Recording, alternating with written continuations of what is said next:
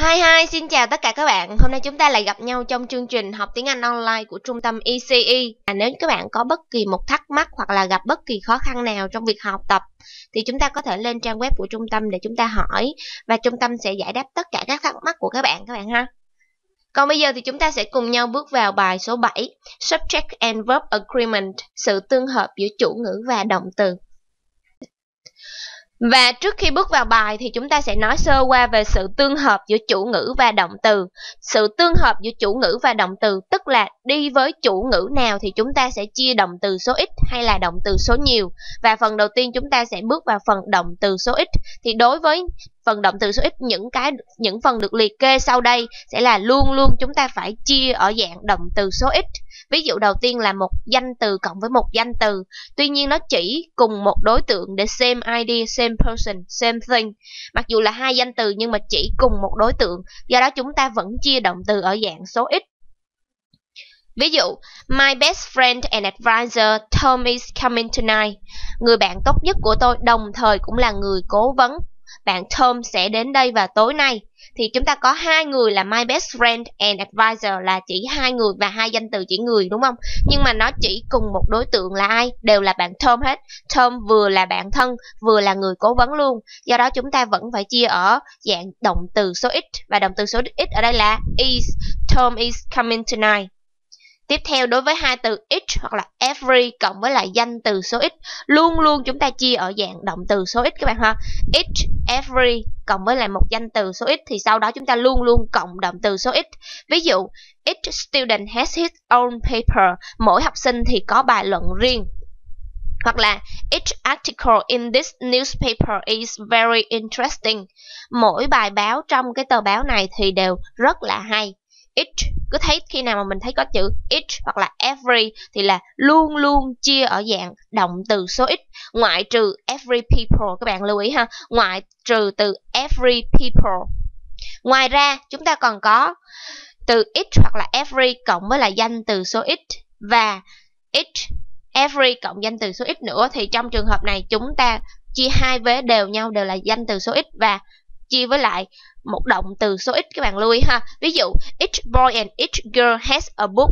Mỗi bạn nam và mỗi bạn nữ thì đều có một quyển sách. Mỗi người này và mỗi người kia thì đều có một một cái gì đó. Thì chúng ta luôn luôn chia ở động từ số ít.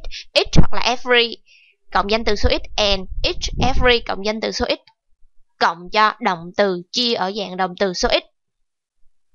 Tiếp theo là đối với những đại từ bất định như là everything, every, any, no hoặc là some và chúng ta có đại từ bất định cộng với là những từ như là body, thing hoặc là one. Ví dụ everyone, anyone, no one hoặc someone. Và đây là những từ chỉ đại từ bất định. Everyone là tất cả mọi người, anyone là bất kỳ ai đó và no one là không ai cả và someone là một người nào đó. Mình nhắc lại ha, everyone là tất cả mọi người, anyone là bất kể một ai đó, no one là không ai cả và someone là một người nào đó. Ví dụ mình nói là someone is at the door, có một người nào đó ở ngoài cửa. Ví dụ, everything looks bright and clean. Tất cả mọi thứ thì trông có vẻ rất là sáng sủa và sạch sẽ. Everything looks bright and clean. Với tất cả từ each hoặc là every và đại từ bất định như là every, any, no, some, chúng ta luôn luôn chia ở dạng động từ số ít, ngoại trừ every people. Tiếp theo động từ số ít còn đi sau những danh từ chỉ về tin tức, môn học, căn bệnh hoặc là quốc gia thì những danh từ này luôn luôn là có hình thức số nhiều luôn luôn có s ở sau. Tuy nhiên nó không phải là danh từ số nhiều mà nó là danh từ số ít. Chúng ta phải chia với lại động từ số ít các bạn lưu ý ha những danh từ mà chỉ ví dụ như là tin tức môn học căn bệnh hoặc là quốc gia. Thì ở đây mình có liệt kê một vài ví dụ. Ví dụ như là news, tin tức, physics là môn vật lý, economics môn kinh tế học measles bệnh sởi mumps bệnh quai bị hoặc là the United States là hợp chủng quốc Hoa Kỳ. Thì đây là những danh từ mà luôn luôn có s sau cùng. Tuy nó ở dạng hình thức số nhiều, tuy nhiên nó không phải là danh từ số nhiều, các bạn lưu ý ha. Không phải là danh từ số nhiều. Và chúng ta phải chia nó ở với động từ là số ít. Những từ như là tin tức, căn bệnh, môn học, quốc gia luôn luôn chia ở dạng động từ số ít. Ví dụ, The United States is a developed country. thì chúng ta có là Hợp chủng quốc Hoa Kỳ là một đất nước rất là phát triển. Thì ở đây mặc dù chúng có The United States States thêm S nhưng mà nó không phải là mà nó là tên của một quốc gia chứ nó không phải là số nhiều các bạn ha. Nó không phải là một danh từ số nhiều, do đó chúng ta vẫn phải chia ở dạng động từ số ít. Chia động từ là is. The United States is a developed country. Hợp chủng quốc Hoa Kỳ là một đất nước rất là phát triển. Tiếp theo, the news is very interesting. Cái tin tức đó thì rất là thú vị. The news mặc dù nó có hình thức số nhiều là s nhưng mà nó không phải là danh từ số nhiều. Do đó chúng ta vẫn phải chia động từ ở đây là dạng số ít is.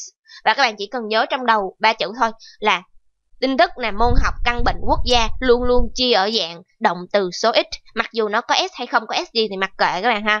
Cứ chia ở dạng số ít Tiếp theo, đối với những danh từ không đếm được, ví dụ như là furniture, water, traffic, knowledge hoặc là homework, thì chúng ta không được chia ở dạng động từ số nhiều mà chúng ta phải chia động từ số ít. Bởi vì ví dụ như là nước thì chúng ta không đếm được hoặc là đường muối à, đồ nội thất hoặc là kiến thức. Kiến thức thì chúng ta không thể nào đong đếm được đúng không các bạn? Thì chúng ta không được chia ở dạng danh động từ số nhiều mà phải chia luôn luôn chia ở dạng động từ số ít chúng ta không thể nào là đếm một nước, hai nước hay là một đường, hai đường, một kiến thức, hai kiến thức được. Mà nước ở đây chúng ta dùng đơn vị đếm như là một cốc nước, thì chúng ta đếm ở đây đơn vị đếm là một một cốc chứ không phải là một nước. Ví dụ như là, the furniture was more expensive than we thought. Cái đồ nội thất thì là mắc hơn là chúng tôi nghĩ. The furniture was, chúng ta dùng với lại động từ số ít the furniture, nội thất chúng ta không thể nào đếm là một nội thất, hai nội thất được, mà phải nội thất phải chia ra từng cái một. Ví dụ như là bàn thì mình phải đếm là một cái bàn, hai cái bàn, chứ chúng ta không thể nào mà đếm là một cái nội thất, hai cái nội thất được, các bạn ha. Các bạn lưu ý, the furniture was more expensive than we thought. Và tương tự như vậy, giao thông, kiến thức và bài tập về nhà cũng vậy các bạn ha. Thông thường các bạn hay nhầm lẫn nhất là từ homework.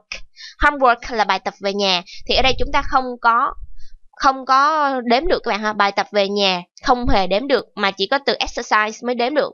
Exercise là phần bài tập, luyện tập, bài luyện tập số 1 bài luyện tập số 2 thì chúng ta mới đếm từng cái từng cái một. Còn homework là bài tập về nhà không đếm được các bạn ha. Ví dụ như là, my homework is very difficult. Bài tập về nhà của tôi thì rất là khó. Chúng ta luôn luôn chia ở dạng động từ số ít dùng với danh từ không đếm được thì luôn luôn chia ở dạng động từ số ít. Tiếp theo, đối với những danh từ chỉ khoảng cách, thời gian và tiền bạc thì chúng ta luôn luôn chia động từ ở dạng số ít. Ví dụ, four weeks is a long time to wait to hear from him. Bốn tuần là một khoảng thời gian dài để mà chờ đợi nghe tin từ anh ta. Thì ở đây chúng ta có từ 4 weeks, mặc dù nó là tới 4 tuần và nó có số nhiều là s.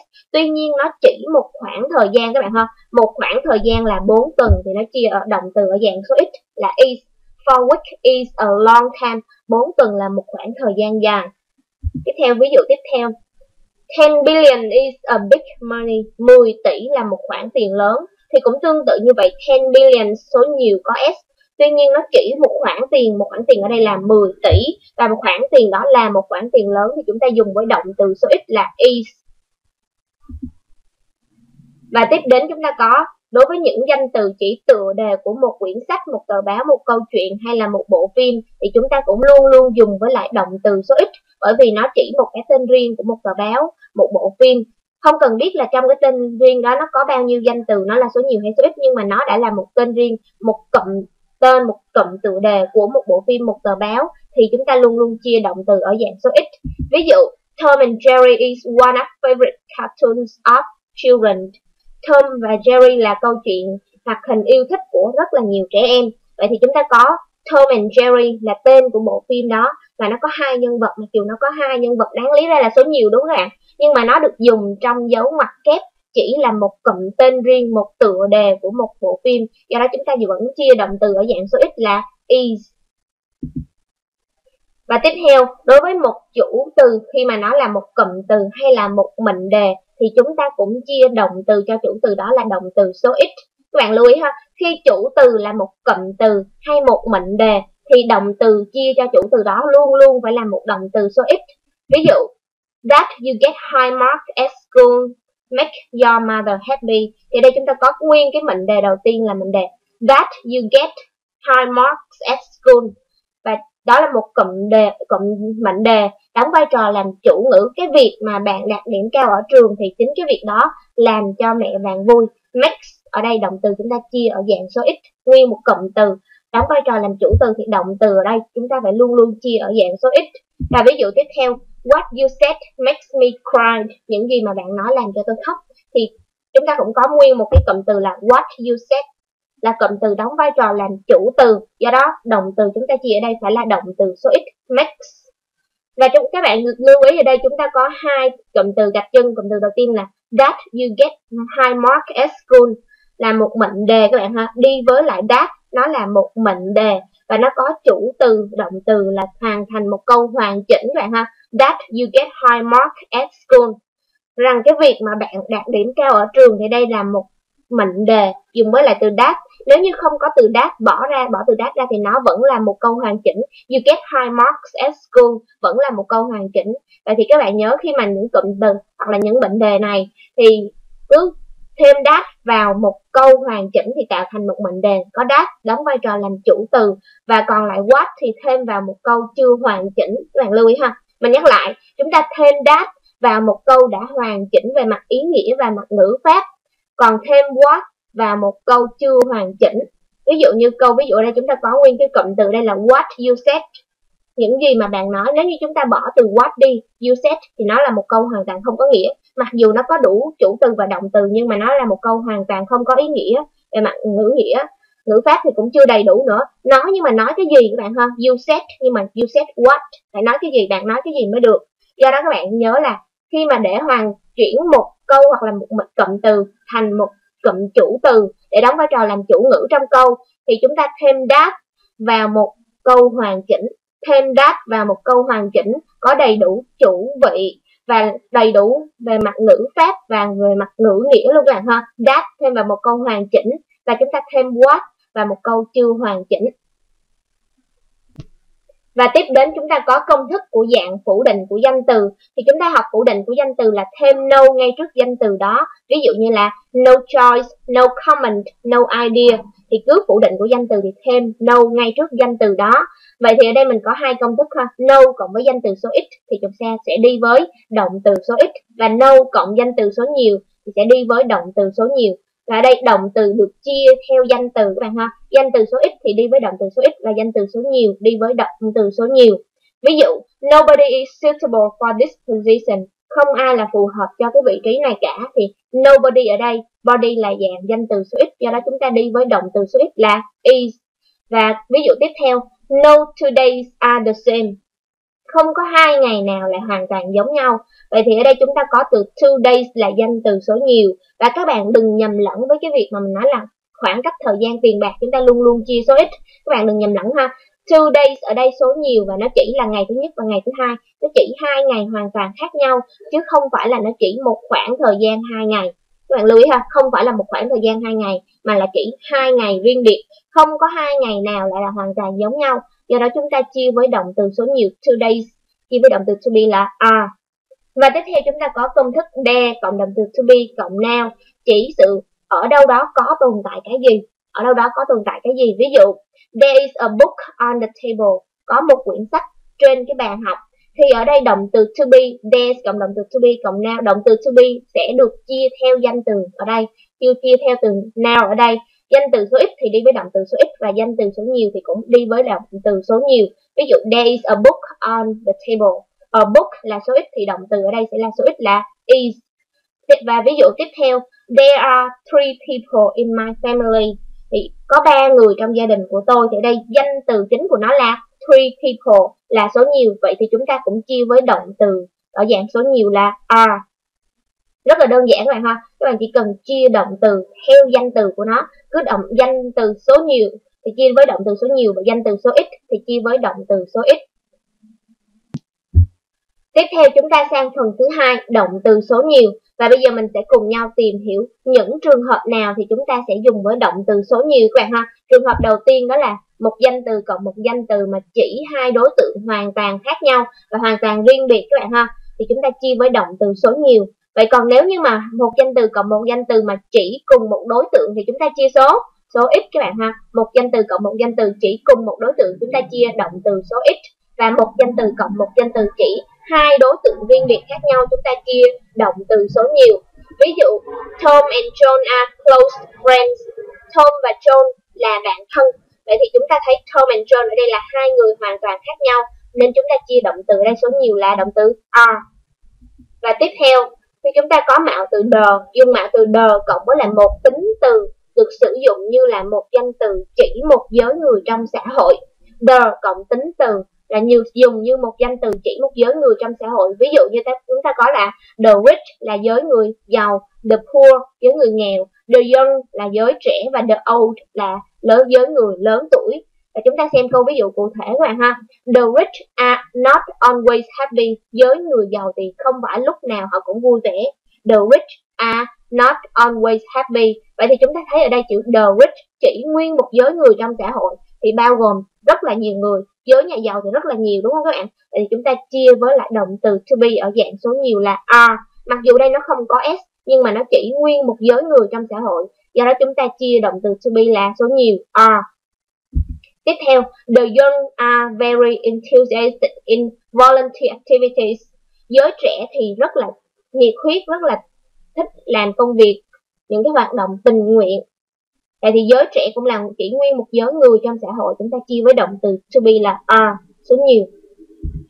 Tiếp theo, đối với những danh từ tập hợp như là people, police, poetry, castle, team hoặc là staff, những danh từ này chỉ tập hợp, ví dụ people là chỉ loài người hoặc là nhân dân, police là chỉ lực lượng cảnh sát, poultry gia cầm, cattle gia súc, team là một đội, staff là nhân viên mà nhân viên luôn ở số nhiều. Đây là những danh từ tập hợp.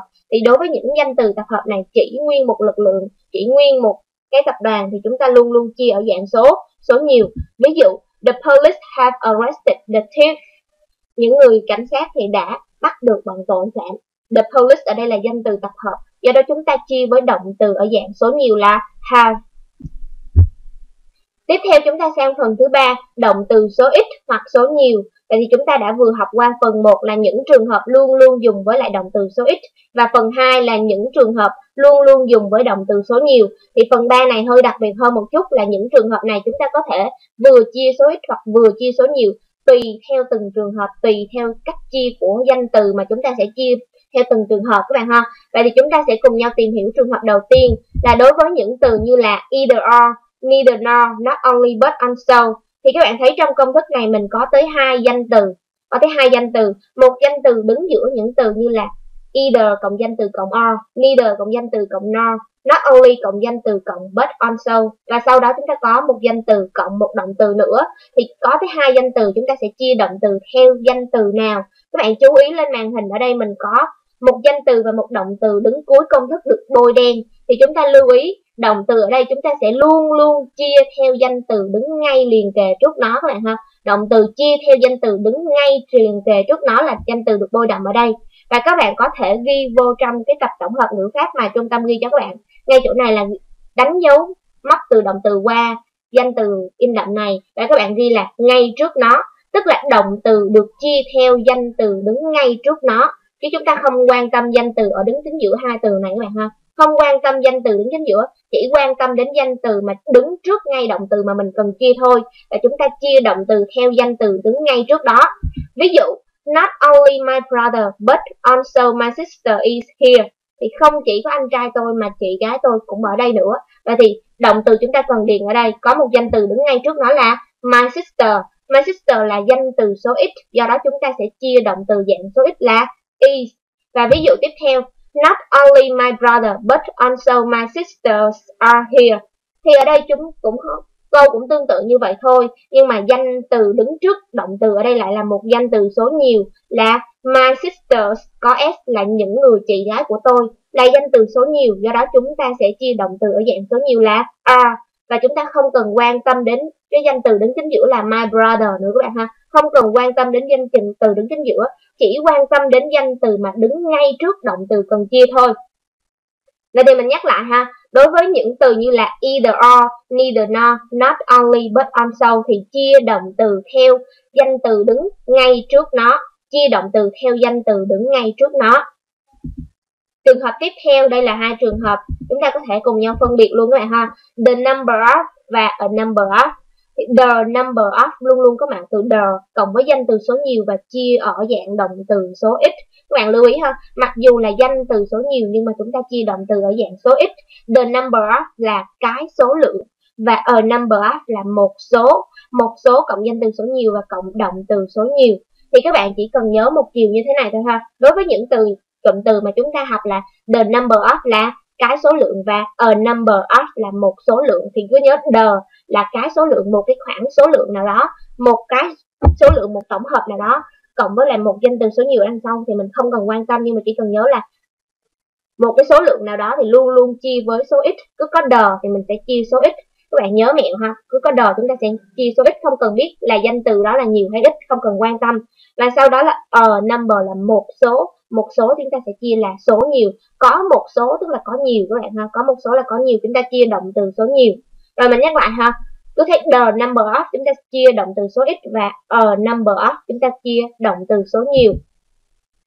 Ví dụ, the number of students in this class is small. Là số lượng học sinh trong cái lớp này thì rất là nhỏ rất là ít. Số lượng học sinh, một cái số lượng nào đó thì chúng ta chia động từ số ít the number of cộng động từ số ít và a number of sẽ chia với lại động từ số nhiều. Ví dụ, a number of problems have arisen thì ở đây chúng ta có từ a number of là một số vấn đề, một số vấn đề, tức là chúng ta có nhiều vấn đề. Nhiều vấn đề thì đã phát sinh, nhiều vấn đề phát sinh. A number of problems have arisen.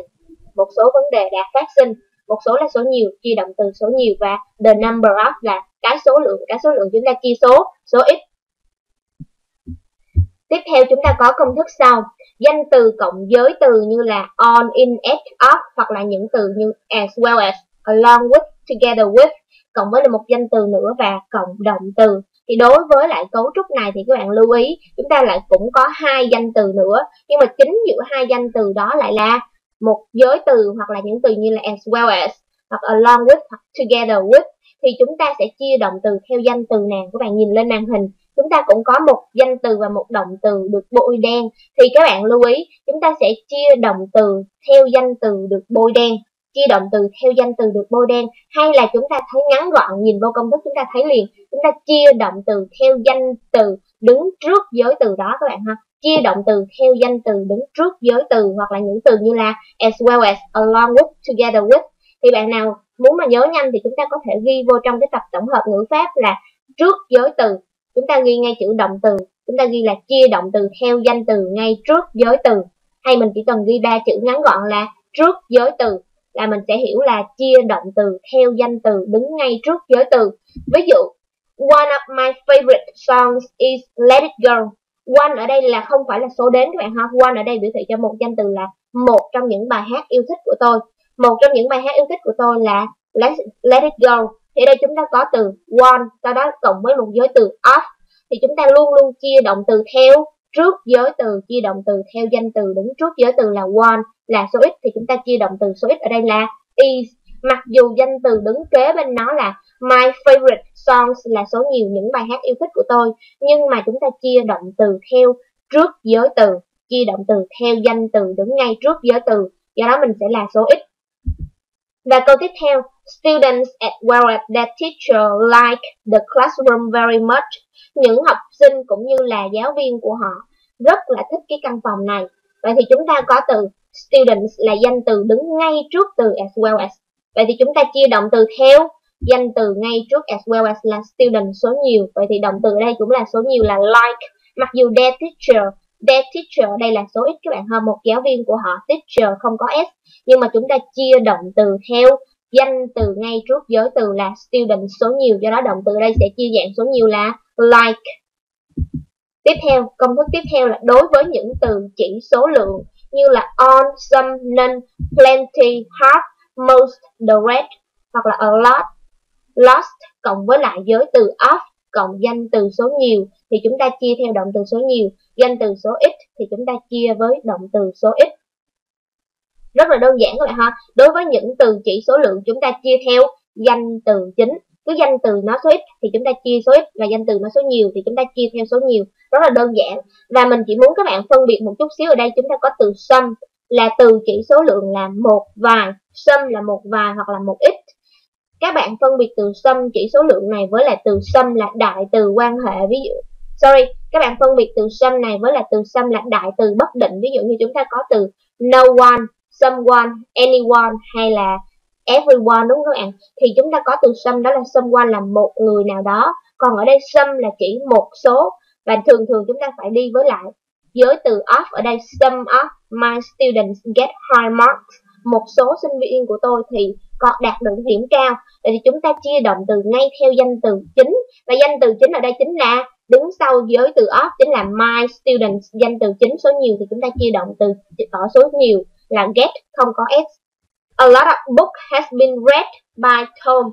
Thì ở đây chúng ta cũng có từ a lot of, là từ chỉ số lượng. Rất là nhiều sách đã được đọc bởi bạn Tom này thì chúng ta có từ books ở đây là danh từ chính nó dạng số nhiều do đó chúng ta chia động từ ở dạng số nhiều là have. Và các bạn chỉ cần nhớ đối với những từ chỉ số lượng thì mình chia động từ theo danh từ chính và danh từ chính sẽ đi sau các giới từ of. Ví dụ như là all of hoặc là some of, none of, plenty of, half of, most of, the rest of, a lot of hoặc là lots of thì cộng với là một danh từ cứ danh từ đó số ít thì mình chia động từ số ít, danh từ số nhiều mình chia động từ số nhiều đó là dùng cho những từ chỉ số lượng như vậy là chúng ta đã vừa tìm hiểu về sự tương hợp giữa chủ ngữ và động từ và bây giờ chúng ta sẽ cùng nhau vận dụng kiến thức đó vào làm bài tập các bạn ha. Phần bài tập này người ta yêu cầu chúng ta hãy chọn dạng đúng của mỗi động từ sau. Câu bài tập đầu tiên, câu số 1, the picture of the soldier. Thì chúng ta thấy ở đây mình có tới hai danh từ là the picture và the soldier. Và chính giữa nó mình có một giới từ of. Vậy thì các bạn nhớ lại ha, đối với giới từ of thì chúng ta chia động từ theo danh từ nào các bạn?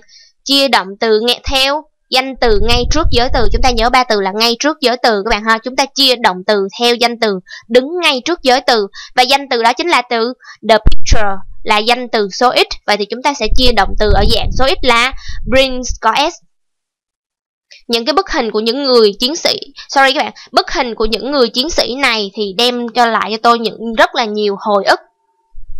Tiếp theo câu số 2 anything. Thì đọc ngay vô thì chúng ta biết anything là đại từ đại từ bất định. Vậy thì đối với những đại từ bất định như là anything, anyone hoặc là any people thì chúng ta luôn luôn chia số số ít là is anything is better than going to play tonight làm bất cứ cái gì thì tốt hơn là việc đi ra ngoài chơi vào buổi tối ok Tiếp theo câu số 3, a number of. Vậy thì chúng ta hồi nãy vừa học rồi ha. A number of là một số. Một số thì chúng ta luôn luôn chia theo động từ số. Số nhiều là were. A number of reporters were at the conference yesterday. Một số những cái nhà phóng viên thì đã ở tại cuộc họp ngày hôm qua. Tiếp theo câu số 4 There thì chúng ta có từ there là ở đâu, có tồn tại cái gì đó đúng không các bạn? Vậy thì chúng ta chia theo danh từ và danh từ của nó. Ở đây là từ some people Some people là một vài người. Là số nhiều, chúng ta sẽ chia động từ ở dạng số nhiều là were There were some people at the meeting last night Có một vài người ở cuộc họp ngày tối, tối ngày hôm qua Tiếp theo câu số 5 Each student Chúng ta có thấy từ each Đối với những từ như là each, every Chúng ta luôn luôn chia động từ số Số each Each student has answered three questions. Mỗi học sinh thì đã phải trả lời 3 câu hỏi.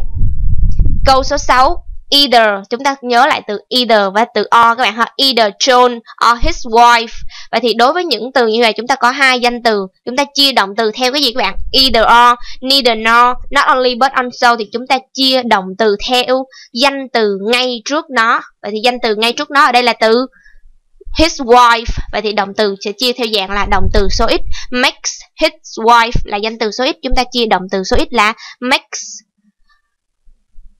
câu số 7 the army, quân đội. Thì the army là danh từ tập hợp, chỉ một tập hợp quân đội, danh từ tập hợp. Chúng ta luôn luôn chia số. Số nhiều là have the army have eliminated the sector of training test. Quân đội đã vừa mới xóa bỏ cái khu vực để mà kiểm tra, huấn luyện. Câu số 8 The number of students who have withdrawn for class this quarter.